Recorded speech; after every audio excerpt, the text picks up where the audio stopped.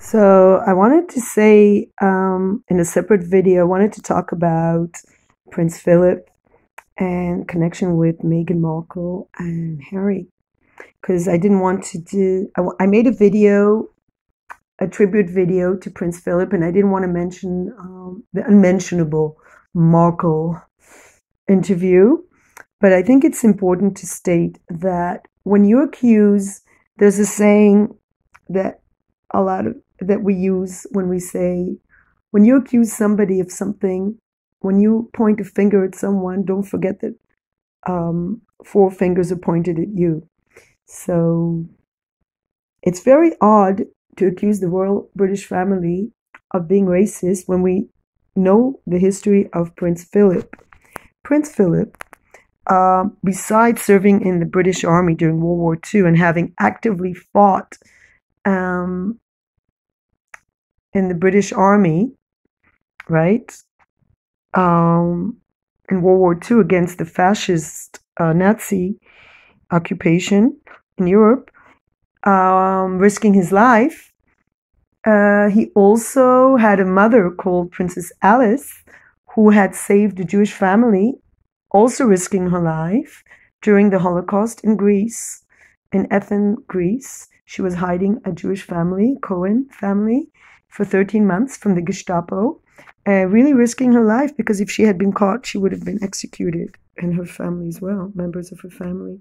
She later asked to be buried in the Mount of Olives, and um, Prince Philip not only came to the Holocaust Museum, not only wrote God uh, judges our deeds, man's deeds, but he also uh, was fighting against anti Semitism.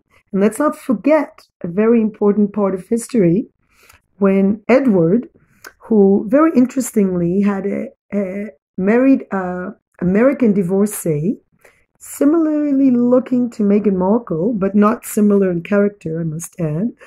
Um, he was a friend of Hitler. He was a Nazi, like he loved the Nazis. He visited Adolf Hitler. He was his good friend, and it had it not been for this woman, um, this American divorcee, uh, had he been a king, because he, he could have been the king of England, God knows how history would have been different if the king of England would have been a collaborator with the Nazis. Think how the British people or the Allies, how everything, the whole, this was a game changer. The fact that he stepped down. And who exposed him, who worked to make sure he wouldn't be king as well, was Prince Philip. He was absolutely exposing him as a Nazi, a friend of the Nazis, a collaborator, in fact. And so he was actively working against him becoming king as well. Um, so and and and later on, he was working to um, remind people of the Holocaust, and uh, it was standing on the side of the Jewish people uh, against anti-Semitism. So to like, and let's look at Prince Harry. He wore a Nazi uniform. He took photos in a Nazi uniform. He thinks it's funny um, to dress as a person who uh, was part of a group that murdered people in the most vicious and hideous ways known to mankind. We just had Holocaust Memorial Day. I mean, the Nazis were one of the worst violent thugs in history. Not only Jews, by the way, but also anyone who was against them uh, was murdered, but they really focused their hate on Jews and they really focused on their killing methods on Jews. But they also killed homosexuals, uh, Jehovah Witness, anyone of a different religion, handicapped people, mentally ill people, anyone who was in any way against their crazy racist Aryan theory. And who was their friend Edward, who was supposed to be king. But because of the American divorcee he married, there was a way that he had to decide between this marriage or becoming a king. But Prince Philip was fighting that he would never be king. So Prince Philip was not only speaking out against racism and anti Semitism, but he was actually doing something against it. And what does Prince Harry do? Dress up in a Nazi uniform. And he wasn't like a child, he was already an adult. He knew what he was doing. And he, you know, so and there were also documented um, testimonies that he said racist things against Pakistani people and God knows what.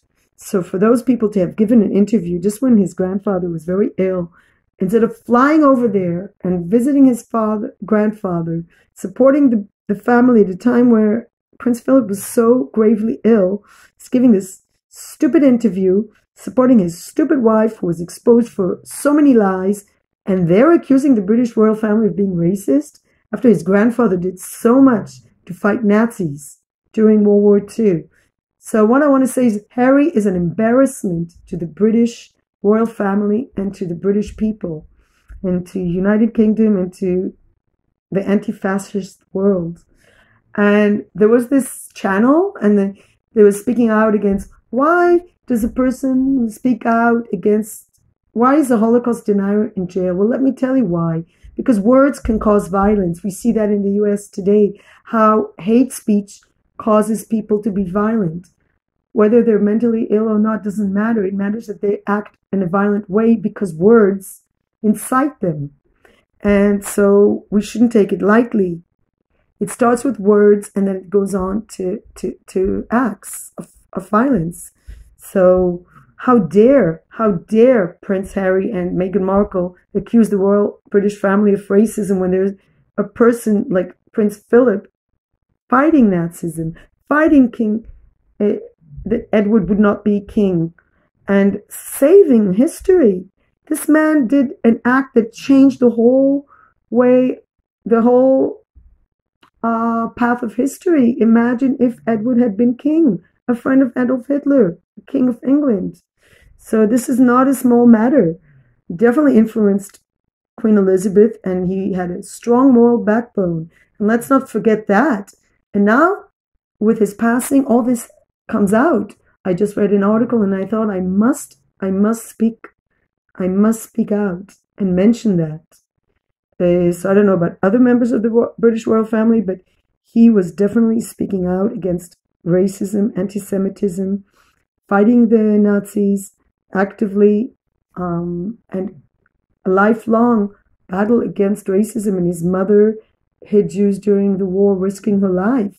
So this is a man that comes from a very strong um, anti-fascist uh, moral backbone. And don't forget, we also have to mention three of his sisters married Nazi collaborators, German Nazi collaborators, and still he continued to speak out against anti-Semitism. So it's even harder like that. It's more difficult when you are a minority in a family. Uh, he, he followed his mother's footsteps uh, she became a nun. He, he was a very uh, strong fighter against anti Semitism and racism. So, for anyone who did nothing, nothing for against racism actively, you know, what, what did Harry do? Fought in Afghanistan and then at the same time said racist things against Pakistani soldiers.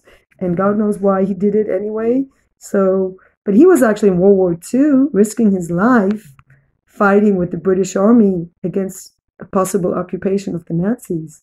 So Prince Harry still has to do a lot in order to make up for dressing in a Nazi uniform. And his wife can really just shut up if she thinks she can accuse a family that has such a man, such a man, a member in it. She is so ignorant of history. She might have um, a degree in international relations, but obviously she never learned anything because where doesn't she know history? She didn't even know who Harry was. How can you get a degree in international relations and not even know who the British royal family is and what they stood up for during World War II? And just let, let us mention the Nazis didn't only target Jews, they targeted uh, African people, they targeted um, Jesse Owen in the Berlin uh, Olympics, Hitler wouldn't even shake his hand. And didn't he prove them wrong about the stupid racist theories of the Nazis that they're the superior race when Jesse Owen won all those medals? So it's not only African people, not only Jews, not only people of different uh, religions, not only homosexuals, but the Nazis targeted so many ethnic groups. And who didn't they target? And for Meghan Markle to actually accuse them of racism for some who knows even if it was said some comment made about the color of the skin of her child. I mean, this is racism, really? But what did they do? What did this family do for people, for, for, for the whole entire world fighting Nazis? So I think Meghan Markle really needs to, to redo a degree, re educate herself, maybe visit the Holocaust Memorial, maybe visit um, uh, like a museum against uh, racism. There must be somewhere in the U.S. such museums, and see what her, what the Harry's maternal, uh, sorry, what Harry's paternal great grandmother did during World War II, and ask herself, really, do you really have the audacity to accuse such a family of racism? So I'm really enraged at the moment because we spent all the channels busy with Meghan Markle and Harry interview by Oprah Winfrey, a billionaire interviewing a millionaire, and Harry actually had the audacity of claiming he didn't get enough millions of dollars so they could live a lavish life, trashing his family. And so more and more people are waking up and they also realize that Meghan Markle told lies. And isn't it interesting that the divorcee, American divorcee who married Edward, actually saved saved the world from possible Nazi British king, and also was a person who didn't trash the British royal family. She married him, yes, but she didn't just constantly seek fame and at the expense of a moral backbone. So it's time to speak out against that. And let's have more channels remembering Prince Philip and what he did for for human humanity. He prevented Nazism from up, from taking over Europe. Uh, and contributed quite a lot, and he was also an example of a fine husband